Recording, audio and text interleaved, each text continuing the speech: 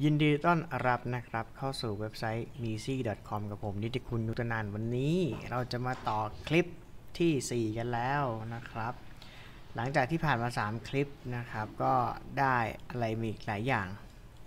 คลิปนี้นะครับ ก็จะมาต่อส่วนที่เหลือกันก็คือมีปุ่มพัดลมเครื่องบินละกันนะครับ ก็ไม่น่าจะมีอะไรมาก พัดลมหนึ่งอันปั้นง่าย ๆ เนาะ โอเค ตรงนี้นะครับ ครั้งที่แล้วก็สอนใส่ texture ไปแล้วด้วย นี่สวยงามนะครับนี่ลองดูเช็ค UV กันก่อนนะครับ เช็ค UV editor มา นี่เราก็มี 3 แบบนะครับ ต่อจากนั้นก็จะเป็นเรื่องของปุ่มครับ เดี๋ยวเราล็อกส่วนที่เราอ่าโอเค ล็อกส่วนที่เหลือที่เป็นแอนิเมชันเอาไว้ใน layer ที่ 2 ก่อนนะครับเซฟแล้วก็เซฟคลิปใหม่นะครับไม่เซฟเซฟไฟล์ใหม่นะครับ ดีที่สุด ก็ file save scene as นะครับ นี่ก็ไฟล์เซฟไปเลยไฟล์ที่ 5 ป้องกันไฟล์พังนะครับ เซฟบ่อยๆ หมั่นเซฟเรื่อยๆ คราวนี้นี่เดี๋ยวผมจะไว้จอข้างๆ เอาไว้ดูเป็นแบบปุ่มไม่ได้ดีไซน์ไว้นี่แค่นี้นะครับปุ่มกับพัดลม ก็ง่ายๆ เราเริ่มจากการใช้กล่องสี่เหลี่ยมนะครับอ่า snap เออลืมใช้เป็นภาษาไทยเนาะก็เอาอย่างนี้เลยนะครับ snap เมื่อกี้กด C แล้วใช้เมาส์กลางคลิกเพื่อเลื่อนนะครับ เมาส์กลางคลิก มันก็จะ snap กับเส้นได้ ย้ายจุดหมุนเอาไว้ ด้านล่างก่อนก็กดนะครับซูมเข้าไปกด W นะครับ กด D ปล่อย W กดครั้งเดียวนะครับ เลื่อนแกนนี้กด snap C นะครับคลิกเมาส์กลาง มันจะย้ายไปอยู่ข้างล่าง เสร็จแล้วก็กดลูกศรนนะครับ กด C snap เส้นด้านล่าง นี่ก็ติดกับแผ่นพื้นแล้ว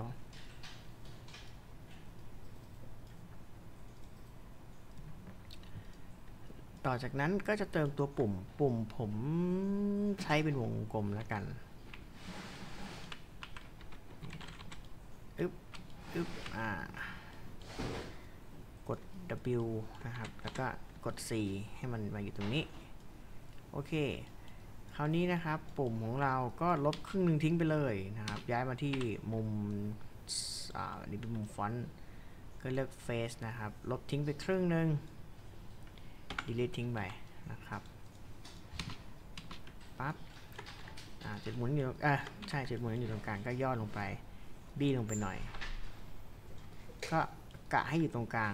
ของสี่เหลี่ยมตรงนี้นะครับ เดี๋ยวค่อยจัดวางอีกทีหนึ่งเสร็จแล้วก็เลือก edge นะครับดับเบิลคลิก edge ก็ได้ มันจะได้เลือกล้อรอบตรงนี้ทั้งหมดนะครับ เส้นด้านล่างทั้งหมด กด Ctrl E ครับ มันก็จะเป็นการ extrude แล้วกดตัว R นะครับ ย่อลงมา อาจจะดึงลงนิดนึงก็ได้ ให้มันสมูทนิดนึงนะครับ กด Ctrl E อีกทีหนึ่งกดเข้ามาปึ๊บแล้วกด Ctrl E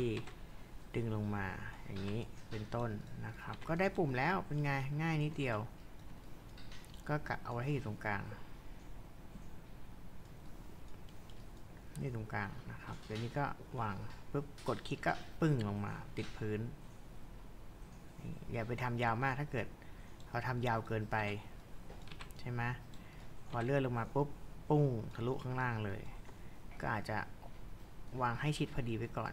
แล้วก็กดเส้นนี้เข้ามานะครับทะลุมาไม่ไม่เป็นไรนะครับ ไม่ใช่เรื่องเสียหาย เพราะยังไงมองไม่เห็นอยู่แล้ว เราก็ดึงขึ้นมา เสร็จแล้วก็ฟีสไว้ฟีส transformation แล้วก็ delete ค่อย delete ดีกว่า มีอะไรน่าสนใจอีกไหมปรับอะไรดีออคิดว่าน่าจะโอเคแล้วนะครับ ไม่น่าจะต้องปรับปรุงอะไรอีก โดยรวมก็ใช้ได้ ถ้าจะมีใส่ก็อาจจะใส่เป็นสีนะครับ เปิดไฮเปอร์เชดขึ้นมา นี่ เราก็เลือก เป็นเอาเงาๆแล้วกันเป็นบลินนะครับบลินบลินปรับ color เป็นแดง เข้มอีกนิดนึงนะครับ เข้มนิดนึง เสร็จแล้วก็แค่นี้ก็โอเคแล้วครับเราก็ใส่สีแดงนะคลิกเมาส์กลางตรงนี้นะครับบลิน 8 ลากเข้าไปปล่อยที่ปุ่มของเรา แค่นี้เอง เสร็จแล้วนะครับ จบ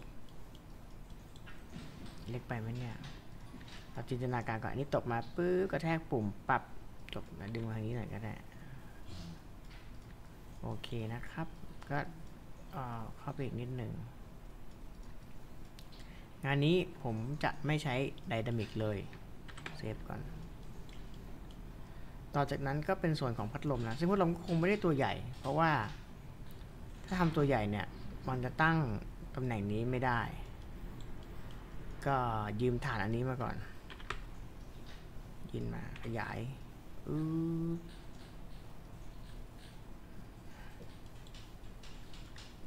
ประมาณนี้ ประมาณนี้ก็โอเค เอาให้เกือบขอบแล้วกัน แล้วก็ขยับไปนิดนึงนะครับ เสร็จแล้วก็จะ extrude ขึ้นมา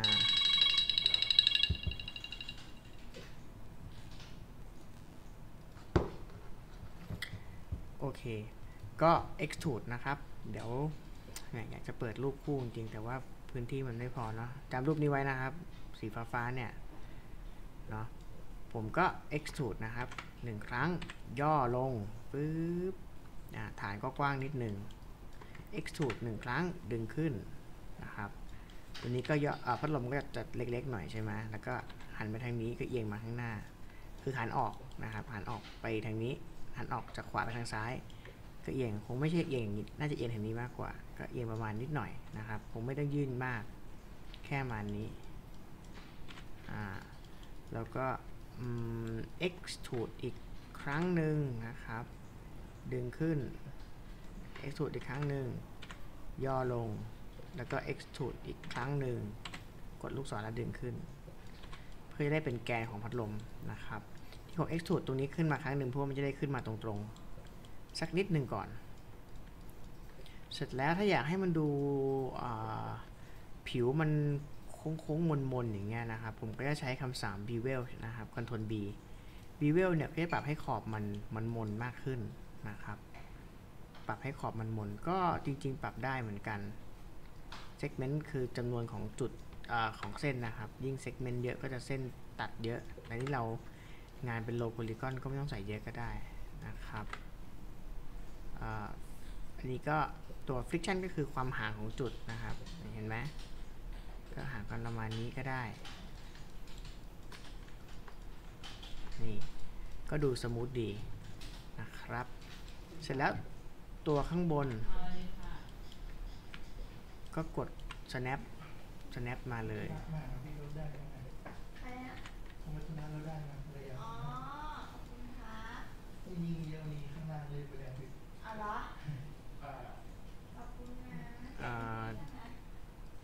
ด้านหลัง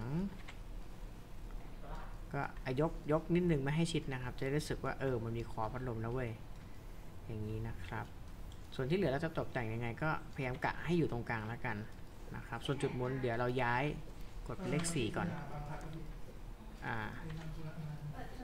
นี่หมุนอย่างนี้ใช่ไหมครับ ก็อย่าให้ไอ้แกนนี้มันทะลุขึ้นมานะครับ อาจจะไม่สวย ตื่นเต้นนั้นไม่ไปมอนอะสีอะไร โอ นะ เคครับอืมอาจจะปรับ x จุดข้างหลังขึ้นอีกนิดนึง ดึงออกมาก่อน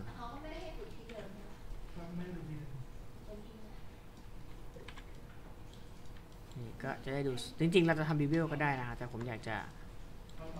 ดึงออกมาก่อน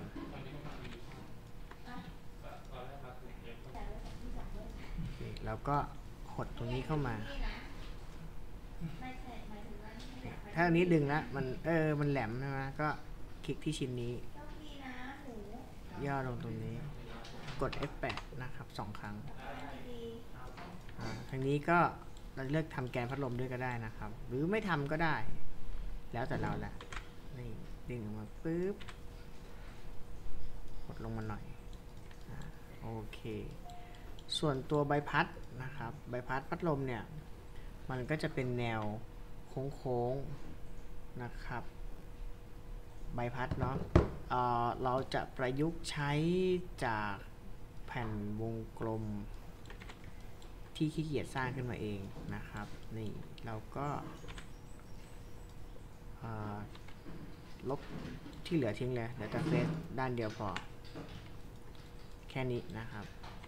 ย้ายจุดหมุนขึ้นไปตรงกลางเลย DC นะฮะกดจุดตรงกลางแล้วก็ snap เส้นแล้วดึงเข้าไปไว้ตรงกลางปุ๊บเราก็พัดลมมันต้องบิดนอนนะแล้วก็บิดอย่างนี้ก็ได้นอนก่อน 90 องศานะครับ แล้วเราก็ดัดใบนี้นะครับ ให้มันลีๆหน่อยก็คือดัดยืดก่อนยืดธรรมดานะครับอพอได้แล้ว ก็น่าจะใหญ่ไปย้ายจุดหมุนขึ้นไปข้างบนก่อน ไปตรงนี้ก่อนก็ได้ ไม่ต้องอะไรเลยนะครับ ย่อลง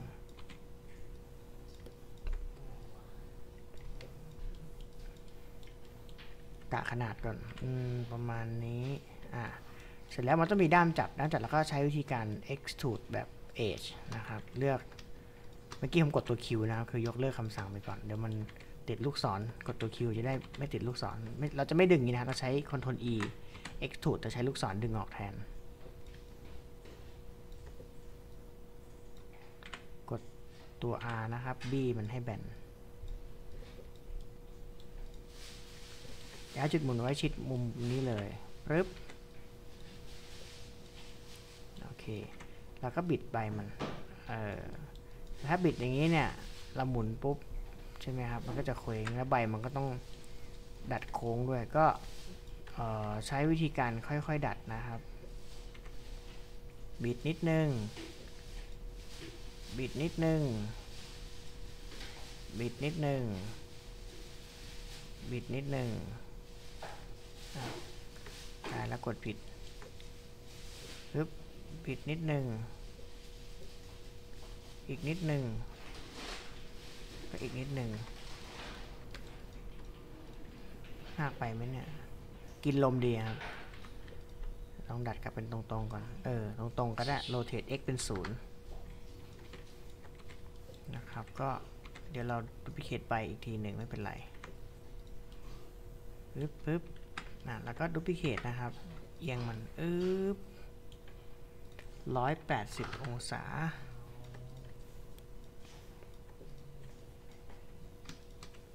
ลองจับคู่ก่อนผมรู้สึกว่าก้านจะใหญ่ไปลบครึ่งบนทิ้งอ่าไอ้สูตรอ่าดึงสองเส้นนี้กลับเข้ามาก่อนแล้วบี้เข้ามาครับใบมันใหญ่ไปคอนโทรล E ดึงออกไปใหม่ ไม่ต้องใหญ่มากก็ได้การนิดเดียวพอ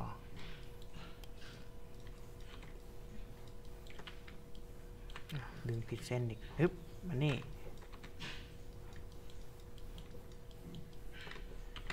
ฮึบ หมุนร้อยแปดสิบ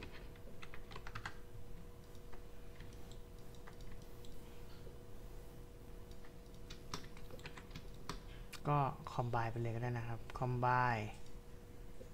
คอมไบก็คือมันรวมกัน แต่จุดมันยังไม่ต่อกันนะครับ ก็จะให้จุดต่อกันไปเลย มันก็ต้องใช้วิธีการ mesh นะครับ ก็เลือก mesh จุดมันจะได้ติดกัน ก็ดูพิเคตอีกอันหนึ่ง มีสี่ใบ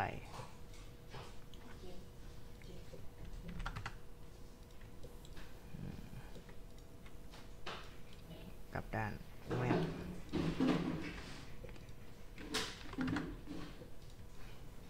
นี่มันกินพัดกินลมทางเดียวกันปะเนี่ย ผมว่าผมทำผิดแล้วเฟสตัวนี้นะครับ เดี๋ยวขอ extract ออกมาก่อน วิธีการ extract คือการแยกเฟสก็คือ ใช้คำสั่งอ่า extract หายไปไหนละ extract extract อยู่นี่อ่าเพื่อจัดที่ให้มันต่อกันเมื่อกี้แยกจากกัน แต่จุดหมุนมันจะย้ายอยู่กลางซีนแล้วก็ชุบแล้วบิดอึ๊บนี่มันต้องหันทางนี้ คือใบมันต้องกินทางเดียวกันนะครับเมื่อกี้ใบมันกลับด้าน ก็ combine ใหม่ mesh combine ต่อกันแล้วปุ๊บก็ดูพิเคทวับ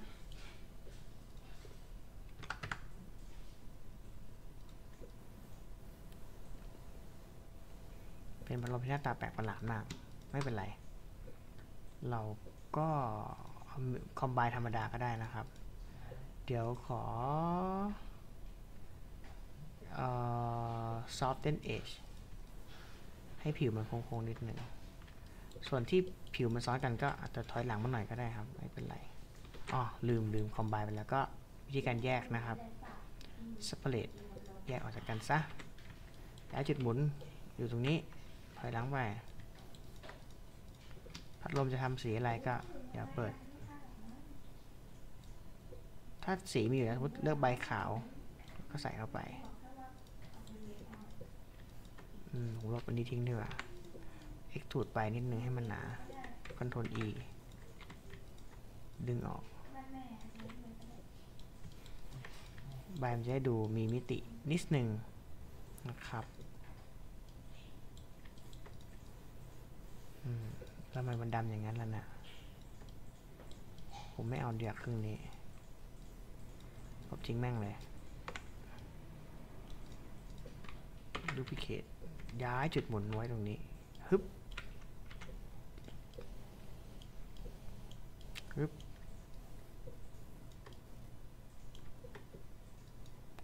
ลบร้อยแปดสิบ combine combine merge merge แล้วก็ merge นั่นแหละครับฮึบเอ้ยแหมกดผิด W D C เอ้ยทำไมคลิกยากจังอืมโอเค ดูเป็นใบพัดมากขึ้น เมื่อกี้มันบางนะครับ มันเลยมีปัญหาเรื่อง กึ่งกึ่งแบ็กเฟสอ่าฮะ90องศา แล้วก็เติมตัวจุกจุกก็ใช้อ่าเป็นตัวทรงกระบอกนะครับเอียงนอน 90 ย่อลง แบบนี้ก็ได้จุกก็เล็กใหญ่ก็แล้วแต่อาจจะปรับลดใบก็ได้นะครับ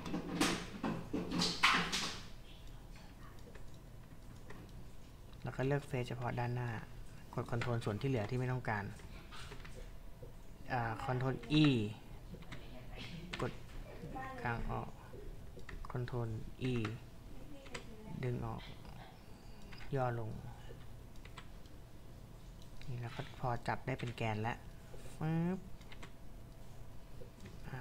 แกนไม่ติดก็ดึงวัวเทคฝั่งนี้ก็ได้ครับ กดเลข4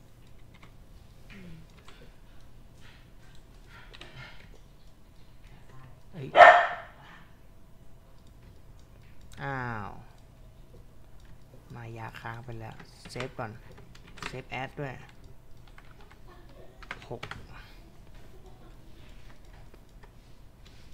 ก็ย่อลงมา เออ พัดลมเราเป็นพัดลมเปลือยๆนะครับ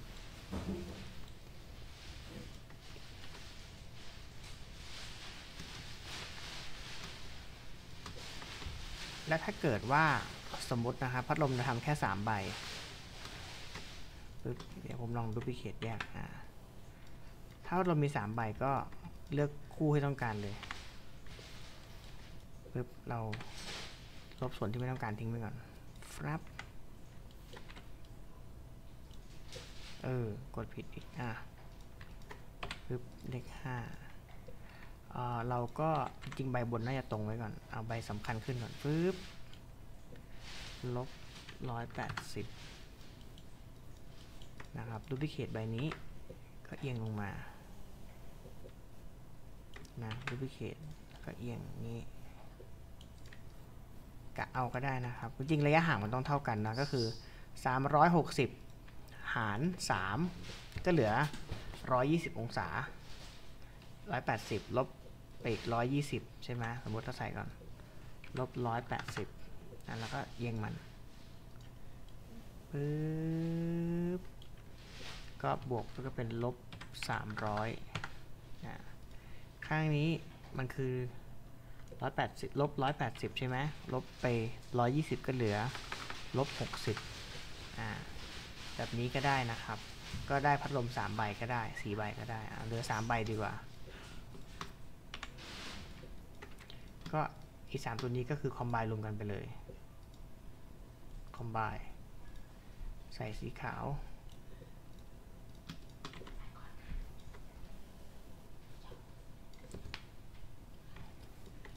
จุดหมุนอ่าตัวนี้ถ้าเกิดใส่สีขาวเหมือนกันก็ได้นะครับ รวมกันไปเลย แล้วก็เอามาคอมไบกันแต่มันจะได้สีเดียวกันนะครับคอมไบจุดหมุนก็ย้ายไว้ตรงกลางคือจุดหมุนตรงนี้นี่ฟึบเวลาหมุนมันจะอยู่ตรงกลางนี่คลิกเมาส์กลางนะครับ จบง่ายแป๊บเดียวก็เสร็จแล้วเห็นไหมพัดลมเราตัวสีฟ้า ก็ สร้างเเป็นลัมเบิร์ตสีฟ้าแล้วกันปึ๊บเลือกฟ้าประมาณนี้ แล้วก็แอดไซน์ใส่เข้าไป มันชื่อบลิน